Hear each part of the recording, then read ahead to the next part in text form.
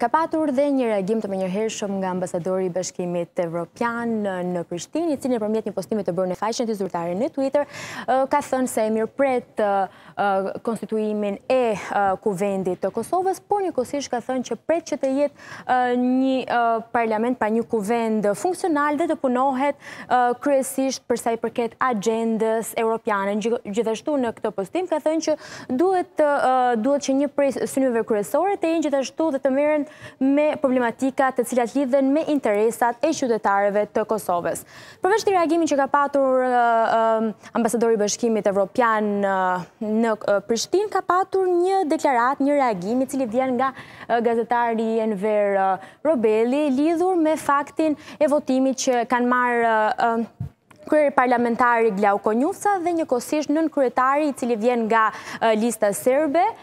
Simici. Faktikisht në këtë postim ka shkruar se janë marrë 91 vota ndaj kryetarit,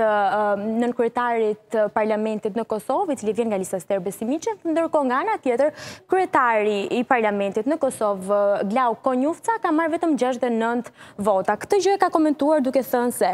ja ku ka arritur përçarja, polarizimi, urrejtja, inati dhe mosdurimet në skenën politike shqiptare të Kosovës. E këtë gjë tregon dhe ky fakt që një kandidat i listës serbe, Slavko Simiç, për nënkryetar të Kuvendit të Republikës së Kosovës, ka marrë nëntëdhjetë e një vota. Kandidati i Lëvizjes Vetëvendosje për kryetar të Kuvendit, Glauk Konjufca, nga ana tjetër, ka marrë më pak se ai, gjashtëdhjetë e nëntë vota, mjaft për të marrë postin por ka thënë njëzet e dy vota më pak se kandidati serb për nënkryetar, duke treguar se në këtë postim të tij se opozita ka dashur dhe ka votuar më së shumti për përfaqësuesin pra për kandidatin e listës serbe se sa për një deputet i cili tashmë mori dhe postin e kryetarit të parlamentit i cili është nga partitë të Kosovës.